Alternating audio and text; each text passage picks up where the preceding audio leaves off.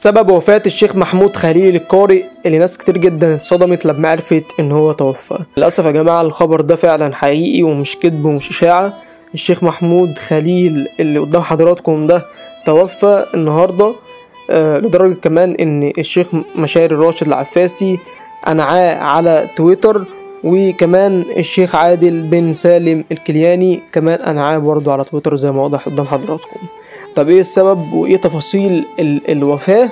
كل ده هنقوله النهارده بإذن الله هنقوله في الفيديو بتاعنا النهارده ولكن قبل أي حاجة أتمنى تدعوا له بالرحمة ولكن قبل ما نعرف أي حاجة عن تفاصيل الوفاة بس أذن حضراتكم نعرف بس الأول مين هو الشيخ محمود خليل ده. لأن في ناس كتير جدا يعني آه بتقول إن ده محمود خليل الحصري. لا يا جماعة ده الشيخ محمود خليل ده من السعودية من المدينة المنورة. تعالوا نشوف مين هو بالتفصيل ونعرف عنه كل حاجة من يوم ما اتولد لحد النهاردة.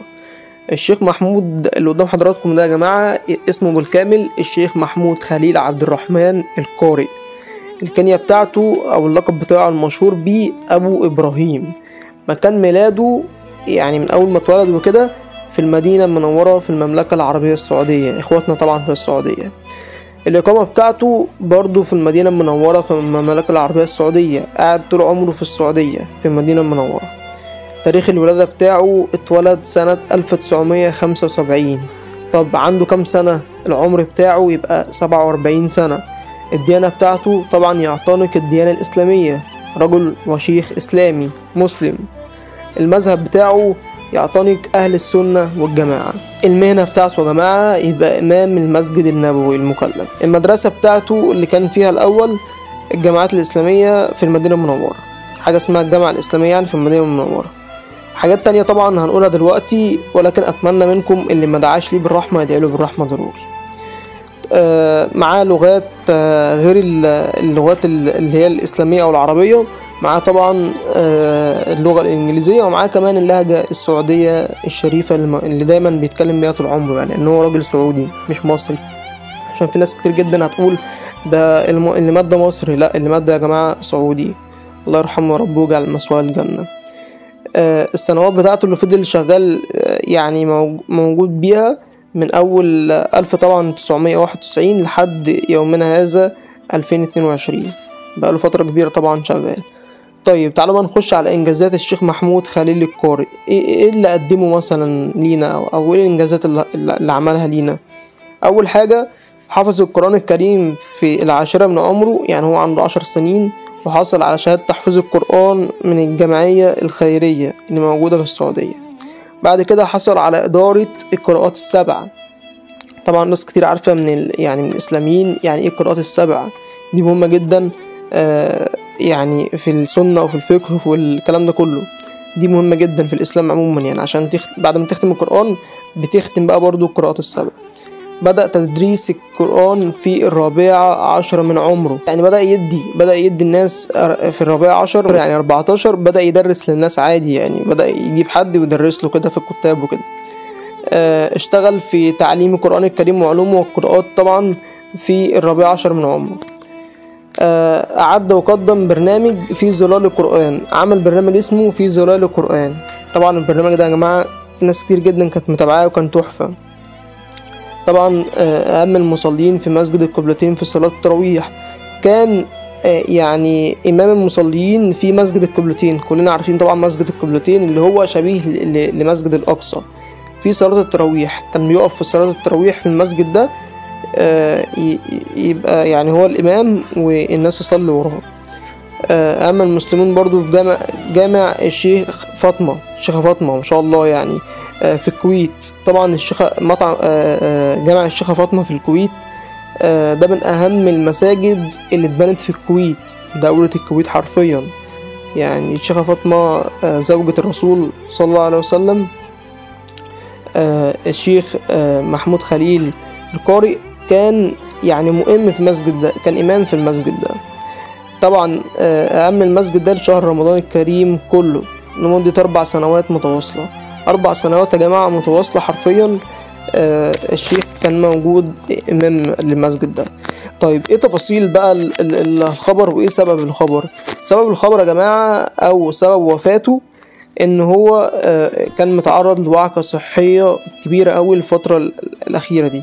بجد كان يعني عنده وعكة صحية يعني شديدة. كلنا عارفين الناس الكبيرة بيبقى يعني بي- بيتعبوا وبيجيلهم يعني تعب الفترة الأخيرة قبل وفاتهم.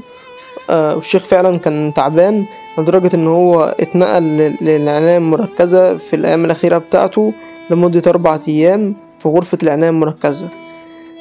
حتى اليوم النهاردة اليوم السبت. وتوفى السبت النهاردة يعني الساعة تمانية الصبح آه، بتاريخ طبعا خمسة وعشرين يونيو ألفين اتنين وعشرين.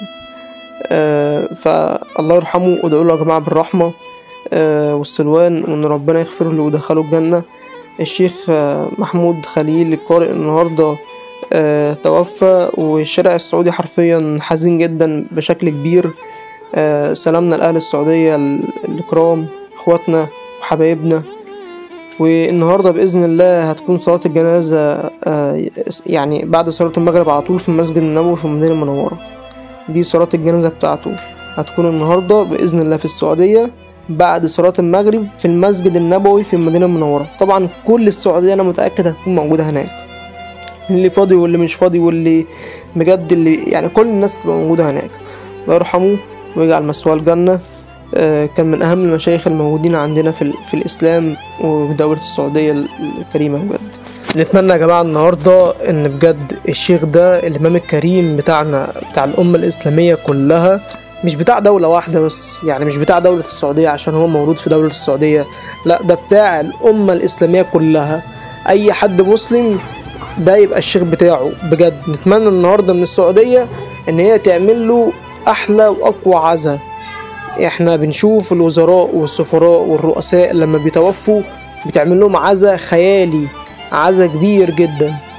إحنا مش بنتكلم على فكرة في بذخ خالص ولا بنتكلم في صرف بس بنتكلم في قيمة ووقار وجاه ويعني بنتكلم بجد في شيخ جليل. إحنا عايزين نعمل عزا مشرف للشيخ بتاعنا. كلنا كده هنروح النهاردة آه، آه، نصلي آه، في المسجد النبوي الشريف و يعني بجد هنكون كلنا متضايقين جدا ودي هتكون آه، يعني آخر لقاء ما بيننا وما بينه. ولكن آه، هي للأسف دي سنة الحياة إن إحنا بنودع الناس الجميلة والناس الكويسة الناس اللي كانت دايما بتحاول تنشر ال- الخير في الأمة الإسلامية. آه، آسف لو طولت على حضراتكم بس والله والله أنا حبيت جدا إن أنا أنقل لكم كل حاجة. ان أنا عارف قد إيه أنتوا بتحبوا الشيخ ده وعارف قد إيه أنتوا هتزعلوا آه ان الشيخ ده توفى. آه بكررها لحضراتكم من تاني. اتمنى منكم تدعوا له بالرحمة واتمنى منكم آه بجد بجد بجد آه يعني آه في التعليقات تحت تذكروا أي حاجة هو كان بيعملها.